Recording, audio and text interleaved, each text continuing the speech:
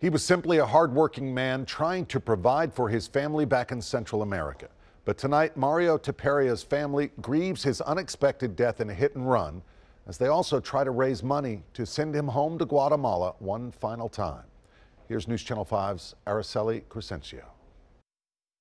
The family of Mario Taperia say he was on his way to send his wife and children who live in Guatemala money. Unfortunately, he never made it to the store. He was killed in a hit and run near this intersection. Now his family is hoping to raise enough funds to send his body back home.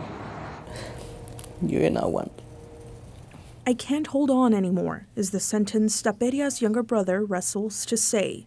Fighting back tears and struggling with the pain of losing his brother, Pedro Taperia Primero is sharing his story in hopes that justice is served. We are going to keep asking for justice because what happened is a great crime.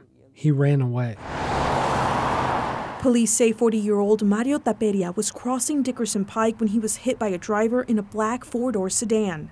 The driver took off. Taperia was then hit by two other cars. Those drivers stopped. He fought for his family more than anything. He fought for his family and took care of his children. Taperia leaves behind eight children and his wife. He worked tirelessly to provide food and clothes for them, but now the cost of reuniting with them is eight to ten thousand dollars. I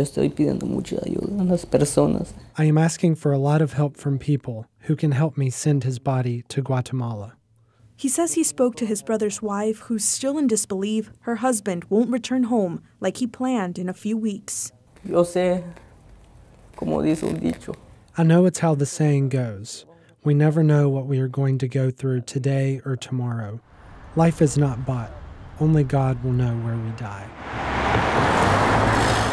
In Nashville, Araceli Crescencio, News Channel 5. It's so sad. Anyone with information on this case is asked to call Crime Stoppers. And if you would like to help the Taperia family with funeral costs, we have a link for you right now on our website.